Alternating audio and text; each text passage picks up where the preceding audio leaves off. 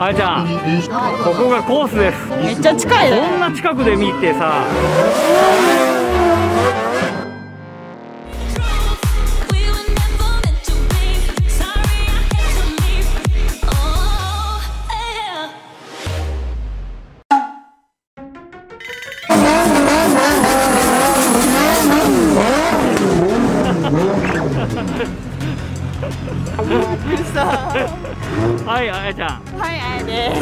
はい、今回の企画は、レイジさんのイベントドリフトドリフト。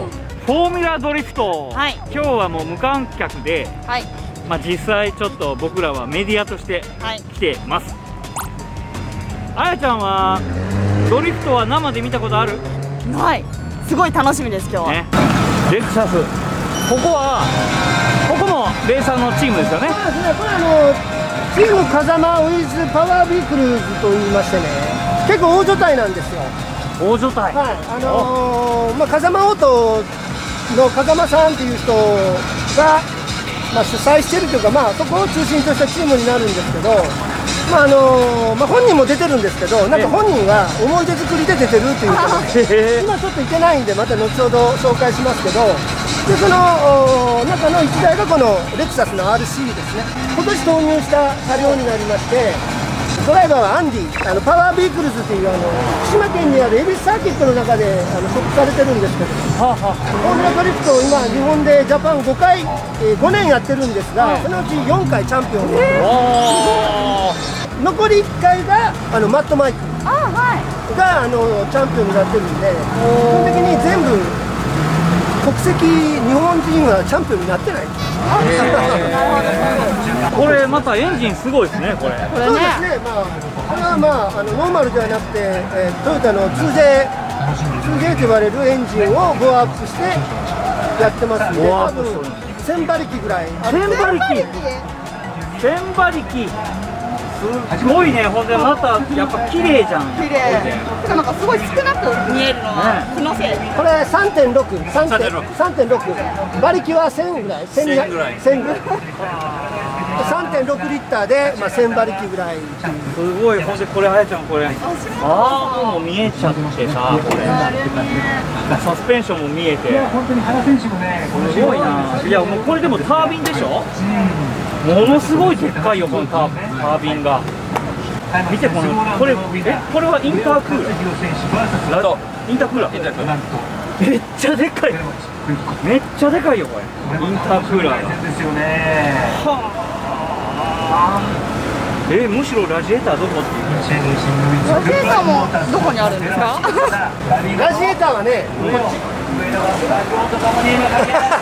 あ らーラジエーついてるよ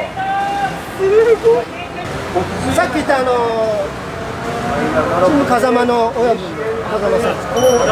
あの狭い業界のインフルエンサーです。からちょっとあの狭くてインフルエンサーっていう言い方も適切じゃないかもしれません。すごいあの業界で影響力のある人。ですよくあのオプションビデオとかにもあのよく出演されてて。あのバラバラエティー班ですね。バラエティ。ー日本語もお上手で。ちょっとできるだけ。下手くそまだ。えもう日本はどれぐらいですか？14年15年ぐらい。2005年から。結構長い。じゃあもうドリフトは、はい。もう風間さん風間さんから。俺が教えた。の近所の先先生。あ先生あいちゃんも教えてもらわないかねえ教えてもらえ3秒で先生抜いていったそうです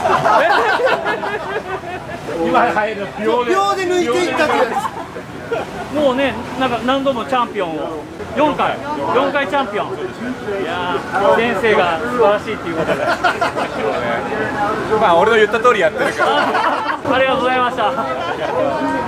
はい、で、あやちゃん、これホイール、もちろんホイールレーサーのなんだけど、このこれは57って書いてますよね。ええ、これはグラムライツの 57CR って呼ばれるモデルですね。57CR っていうモデル。グラムライツは鋳造って言っても軽いですよね。そうですね。鋳造の中では軽い方ですね。ね、これはマッドマイクさんの車両。えー車両はあの兵庫県にある TCP マジックさんというところがあー管理し、えー所有している車両なんですけど、ええ。であのマットマイクが日本に来た時はあこの車両に乗ってフォーミュラドリフトに出てるっていう。なるほど。彼はあ一昨年のフォーミュラドリフトの、えーチャンピオンです。日本のチャンピオンおですね。おただ今年は、まあ、コロナ禍でちょっと来れずに。はいこれは車はマツダこれは RX7 です、RX7 FD3S 型ですね。でレーサーのホイールがもちろんこうやってついとるんだけどね。ついてますねめっちゃ白のホイールいいな。白のホイールもかっこいいね。白のホイールいいですよね。すごい黒黒これはあのあると思いますレッドブルーだよ本当レッドブルーのスポンサーがついてるよすごいですねねこれテントもレッドブルーだよそうこれあやちゃんこれなんかさ窓が穴いっぱい開いててもう奥のあれ。なんだあれ何なの何この棒？なんだあの棒は？サイドブレーキ。サイドブレーキ。だってほらすごい引くから。そうだ。そこでやりますよね。よくわかったじゃん。これ手の持つところだし。すごい。あ手の持つところの。でも普通さサイドブレーキって下から上げるじゃん。うんうん。上がってる状態あれが。上がってる状態。こう引っ張るのか。直立も。へえあやちゃんこれ。前もあれにもついとったけどほら。ボンネットのところにさ。俺？う俺だってやつじゃなくて。んそうそう。そうそう。あやちゃんはい。これカーガイって書いてあるよ。あこれ？えこれ？うん。ほらドアのところ。にあ本当だ。これ親子？親子だって。親子？お父さんと息子さんみたいマジ？面白い。なはいここは？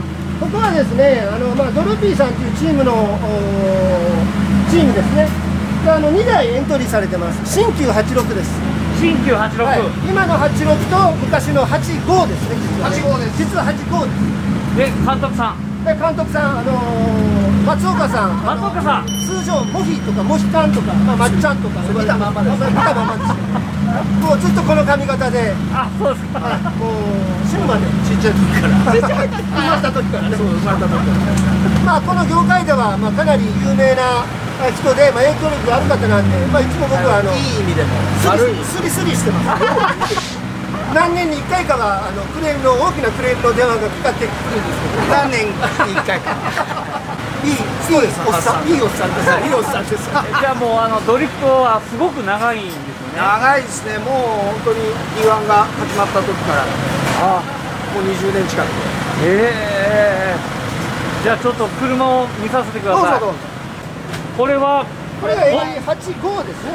86 A85 の5ですね。86じゃなくてベースは。これエンジンは何ですか？これクラウンのエンジンです。BGR。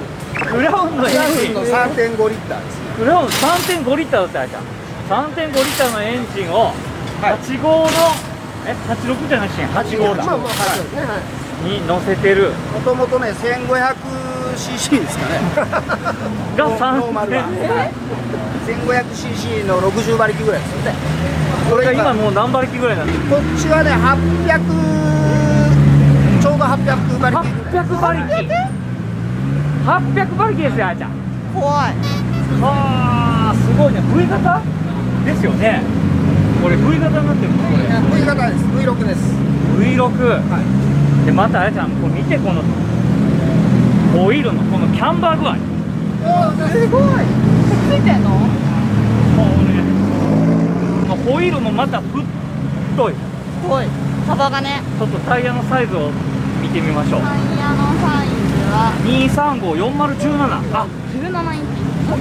タイヤホイールが細あのぶっといっていうよりもワイトレめっちゃ入れてる。よこれなんか中も見せてもらって。あこれ。はうわなんかかっこいい。わあめっちゃかっこいい。何これ。めっちゃかっこいいねこれ。超なんかもうメーターもああそこにメーターがついて。もう真ん中じゃない。ま、まある意味真ん中？あでもこれサイドブレーキはここなんだ。サイドブレーキすごいだね。すごい。いっぱいスイッチがある。こっち。おは新しい86はい。おタイヤ新品だよ。お本当だ変えてるでもなんかこういうあれってあれだねラジアルタイヤなんだな。おおわかる？これ。溝の感じ、うん。ほらディレッター Z3 じゃん。あ本当だ。スイフトン入っとるタイプ一一緒消火器が入ってるんだ。うん消火器はもうねつけなきゃダメ。そういう決まりのルールがある。決まりのルールがタイヤもフロントタイヤ。見てんこれ。この。デロデロ。えー、デロデロ。このエンジンもまたすごいエンジンつい。て多分さっきと同じエンジンだと思いますあえこれとこれが？本当やん。すごいな。何年か前はこれあの水平対向のあのね。元のエンジンをベースにチューニングしてたんですけど、うんうんうん。去年くらいかな多分この V6 に変えてると思います。Vlog に変えるとかいうのがこうなんか当たり前のように喋ってるけどさ。当たり前のこと。いやまあでもこの業界この業界ではもう普通にエンジンスワップは当たり前ですこのチームの特徴はね、はい。監督はねいかついんですけど、はい。ドライバー2人がねなかなかのイケメンなんです。あら本当じゃないですか。まあまるまさか狙ったみたい ドライバーさんお名前聞かせてください。あ僕は石川純也です。石川純也さん。はい。ドリフトはもうされて何年になるんですか？もう8、7、8、8、10年ぐらい。です10年ぐらい。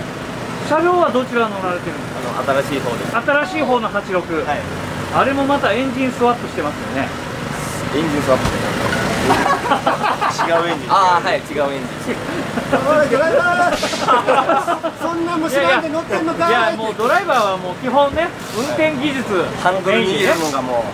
車はもうメカニックさんにお任せと、あのお名前の方お願いします。えー松川和也です。松川さん。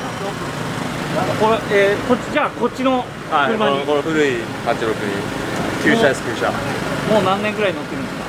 これですか？11 12年。12年。でずっと毎日豆腐を運んでるんです東運んでですか？でも車もかなりスピード出るしドリフトだとかなり危険に見えるんですけど。危険に見えるだけ速度が遅いですもんね。よく乗ってなんかもう減速なまあ逆に言ったら横 G なんかもグリップと比べたらない。滑るからね逆に G が感じられないもんでそうなの？なんか見てるとすごい振り回されちゃう感じがするけど。そんなことはない。なんかの乗ってきたらいいんじゃないですか定石ヘルメットかぶって。え乗せてもらえるもんなんですか？今こ回の競技無理だ。ああそういうのね。僕はね、あの客が入ってる時はねあるんですよ。ああるんだ。じゃあレイさんまた今度ノブレスのうちのチャンネル企画ではい。と貸し切ってわかりましたはい。ドライバー読んではい。あやちゃん横に乗せてはい。走行ですはい。ルルミの横乗ってみた横乗ってみたじゃあ今日頑張ってください。はい。後ろ練習でぶつかりぶつけたすい。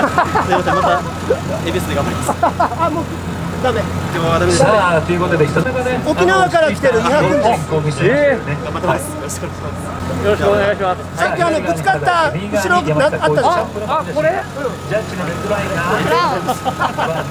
せっかくのクラウンが。あらららレッドラインは山下君の下にこのラインが動きました。ムーブしましたこの対戦勝ち上がった。のは高一お世話になってるショップさんが岐阜にあるので、さあ。で直して、自分はもう沖縄からずっと出シャンプーが勝ち上がっていきました、さあここで皆様にお伝えをしましょう。実はですね今配信の方日本すごいじゃんこれ。ちょっとトラブルがありましてこれもレイさんのホイールこれはそうです。あの T37V これは肝臓が入ってますねうちの YouTube の取材してはいこれは？ここのチームは？はいあの堀野堀野さんというドライバーが。堀野さん。はい。遠路はるばる秋田からです秋田県かえら秋田県から、はいそうです。いああどうもお疲れ様です。つもお世話になってます。わざわざこうこうしてもらうんでもいいよ。もうもうあのドリフト歴は？結構長いです。長い。20年以上。え？おー20年以上。20年以上。うわーすごいですね。やっぱりドリフトの魅力って何ですか？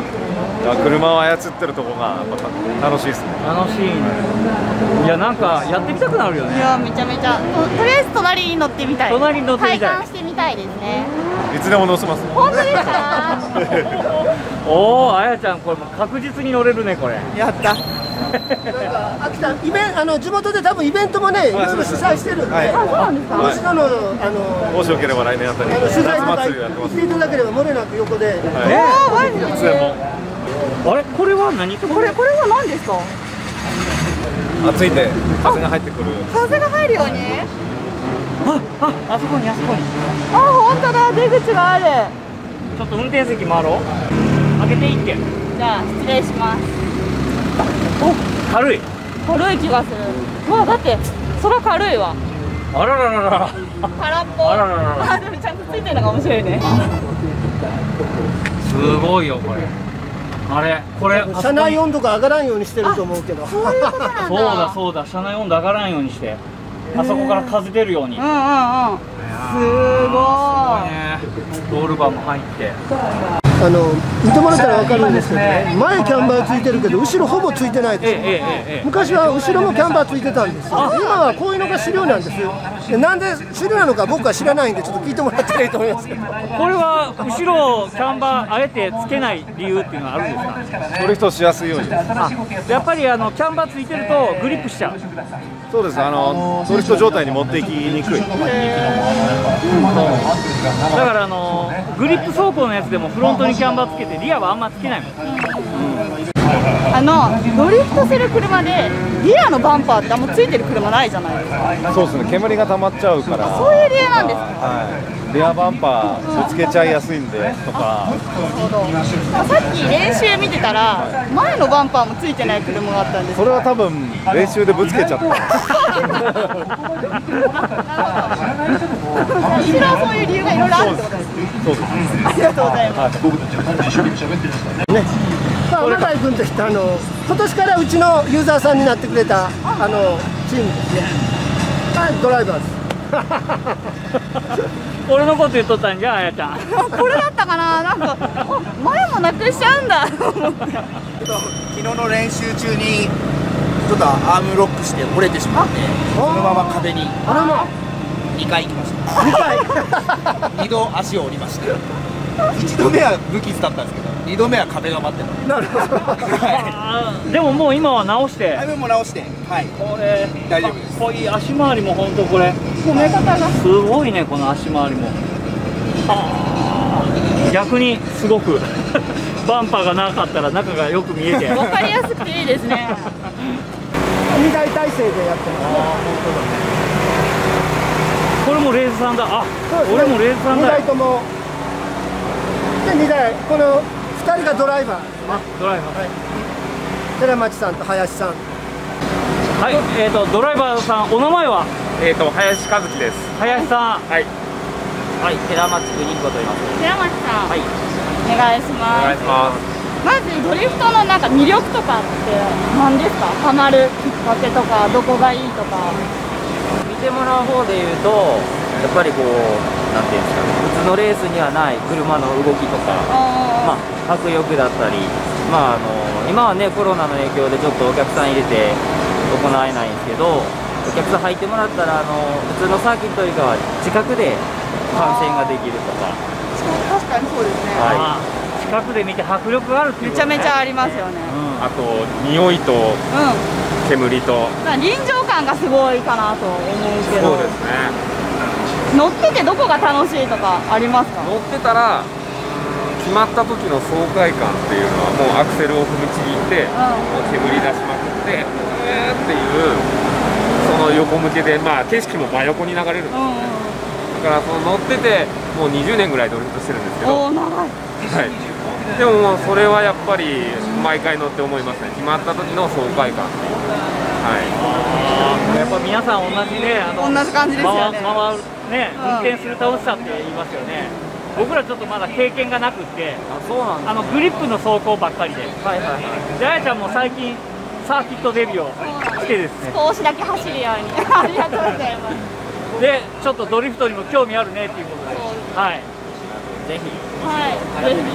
ちょっと今日はいっぱい見学させていただき横ます。向けちゃいましょう。ありがとう頑張ってください今日も。ありがとうございます。お願いします。ありがとうございますこれ懐かしい。うちの86に入っとったんだよこれ。それ見たことないんですよね私そうだね。これホイールまだ上に置いてあるの？もう履かしたの見てみたいですね。これはリアは違うホイール入ってる。違うやつがついてますね。ね57人気だね。そうですね57多いですね。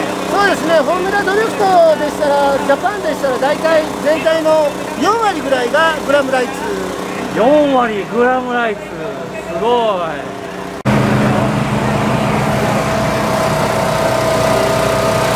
これ BMW だって。おおちょうどバラっとるよ。本当だタイヤかけてるこれまたこれもまたすごいね FJ クルーザーのエンジンらし。い FJ クルーザーのエンジン？マジ？ええ？FJ クルーザーのエンジン？これがこういうドリフトに使えるエンジンなんだ。チューニングしたらね。へえこれパッキングシート貼ってるからわかんないんですけどボディっていうとカーボンケプラーカーボンケブラカーボンケプラーのかっこいいボディにこうねフルラッピングするのはちょっとおらっと思うけど やっぱりねまあ違うこの世界ではね。こうん。今日あの来てもらってるのはフォーミュラドリフトなんですけどフォーミュラドリフ D1 にも出てるんです。違う車で。D1 はい。D1 ですね。日本には D1 とフォーミュラドリフトっていう、まあ、2つの団体があるんですね。でその両方ともに出てます。おグラムライさんのね。あこれディスクがほらすごい変わよった形してるよ。のウェブローターね。ねウェブね。何してるやつこれもバンパーぶった切っとるじゃんね。おお後ろも切ってある。もうなんもない。だからこれで煙をダーッと外出すんだもうすごいね。マフラーはあマフラーやっぱ下向いてるね。向いてますね。すごい立ち方してる。こ れ何？アクリル板？アクリルで立ち上がり。透明だいね。またこの後ろもこれすげえ形しとるよこれ。すごい。でここの奥にこう。ラジエーターがあって。その作りは基本やっぱみんな同じ感じになる同じ感じなんだね。ねこれうおー長い。長い。これかっこいいね。あドライバーさん。高橋和美です。これってあの今日は2台並走じゃないですかそうですね。これ2台並走の時ってなんか先頭切る時先頭で走る時と、い。後ろから追っかける時でなんかこう運転の仕方って変えるんですか？まあ、やっぱり後ろの時は前の時みたいに思いっきりは入れないんでやっぱ相手がいるんで、はいはいはい。まあ、いかにしっかり相手を見るか、あれは近ければ近い方がいいんですか？まあ、近くてミスなきゃその方がでもやっぱ相手がいるもんでそこを合わせて、合わせながらドリフトするっていうのが難しいですよね。そうですね。人によってやっぱブレーキかける位置とかアクセル踏む位置も違うんで、まあ、そういうのもねチームでみんなで情報をもらいながらこの人はこうだよこの人はこうやって走るよっていうので、まあ、データにしてもらって、まあ、あとは自分の中でイメージして、じゃあこんな感じかなっていうのでいつも走るんですけどじゃあやっぱり先頭走ってる時は自分のペースで走れてそうですね。後ろを走らを走る時はもうだいぶ頭使って走るってことね。そうですね。もう先行は何も考えずにとりあえず思いっきり行っちゃえみたいな感じで思いっきり行って後追いはまあ冷静にしっかり。先行熱くう後追い冷静にみたな。いるなほど。え先行の時に例えばこうこの車を打ち切っちゃっても大丈夫まあいつもそういうつもりで走ってます。ついてこれんならついてくればみたいな。なるほどなるほど。じゃあ別にこれは相手がついてこれなくても減点にはならず。にはい全然。逆についてこれない相手が減点になあって。なるほど。じあゃあ突き放した方がまあそうですね。変なことやって突き放すのはダメなんですけど、もうこっちが思いっきりやってもう思いっきりやったのに入れるもんなら入ってきなさいみたいな。なるほど。あーなるほどなるほど。なかなか面白い話が聞けましたありがとうございます。頑張ってください。ありがとうございます。上空ドローンとした映像飛び込みは両者良かった深田も良かった膝がちょっと浅いところもありましたね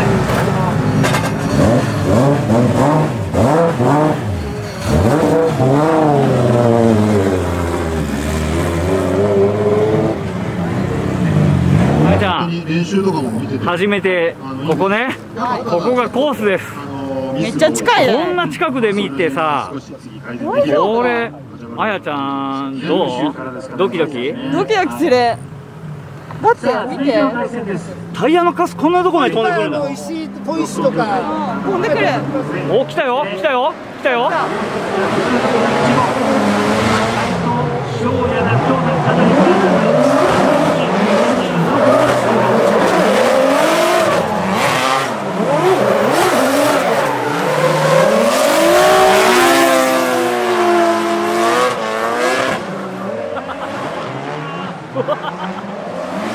見えなくなる途中から。すごい。す すごいね。面白い。あまた来るよ。これさあ飛び込んでいった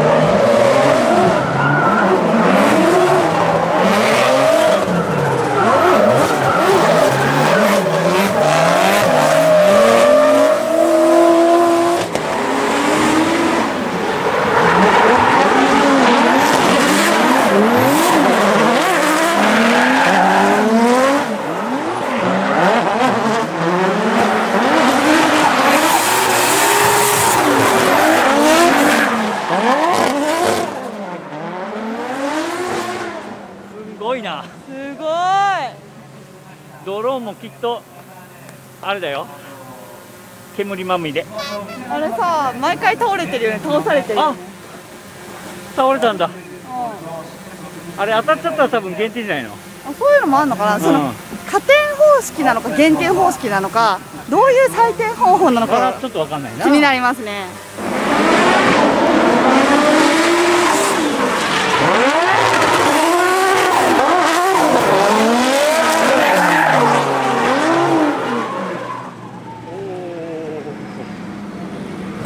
あちゃんはい山登り。はい今度ここはね上から見るよ。スタートから見れますね。うん。スタートはでもああスタートから見えるな。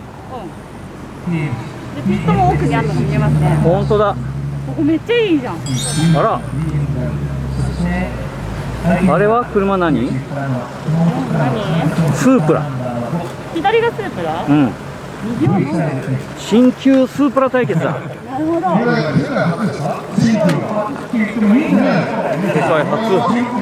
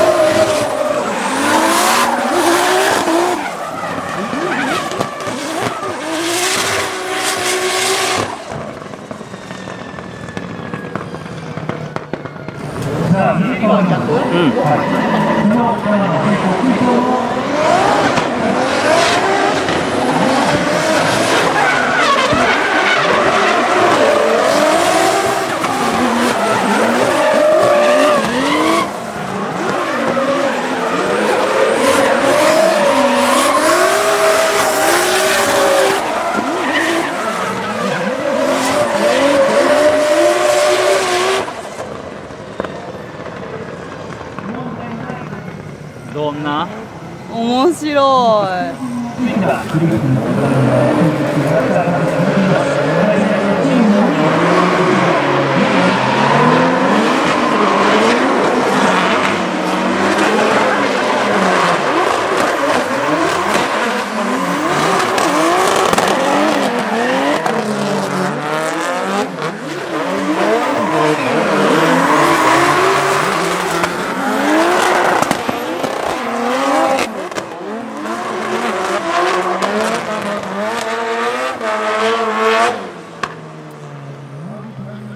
もうさ千馬力にはついていけませんみたいな。じゃあ次は逆。そうですね、はい。追う側と追われる側を逆にして、い や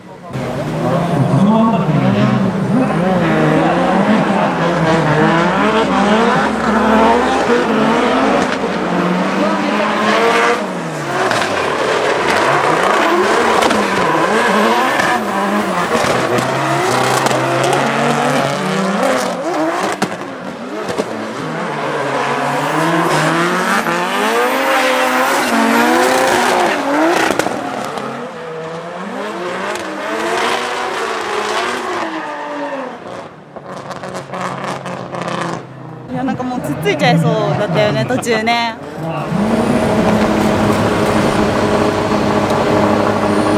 あやちゃん。はい。バンパーないやつさっき見ましたよね。おお目がいいね。そう2回ぶつけて2回目でなくなってしまったっていうバンパーのね。ああよし始まるよ。くるくる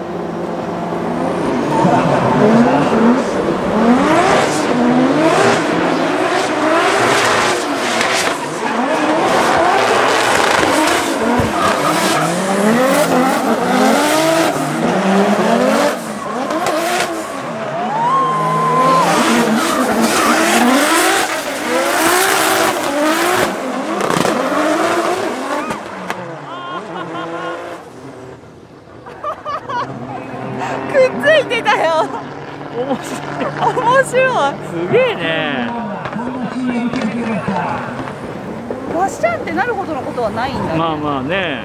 いやすごいな。あれ減点になるんだよねきっと。ぶつかったら減点って。どうなんだろうね。いや面白いから OK とかにならない。面白いから OK って。あやちゃんが審査員だったらあまあまだな。多分みんなと見るところが違うよね。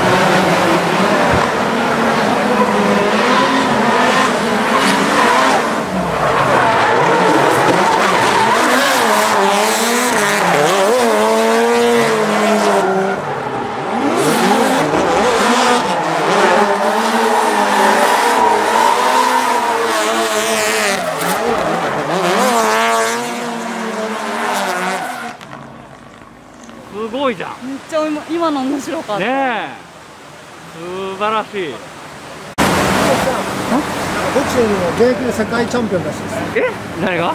あの人？えボクシングの世界チャンピオン？はい。あらー。すごい。このボクシング世界チャンピオンの人が今日は？ドリフト見に来ました。ああドルフト見に来ました、ドリフト大好きなんで。あ、な大好きで、あはいここのチームのあこれそうですね。はい。えグッドライドスポーツ。まあチームに一緒にこう帯同っていう形で、はい一緒に。来さ ドリフト見とってもやっぱり楽しいですね。興奮しますあ興奮します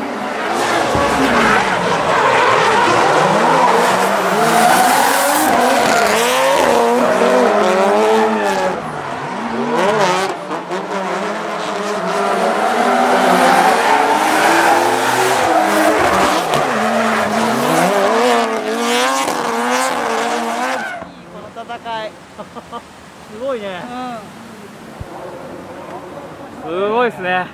いやすごい。いいいい勝負でしたね今。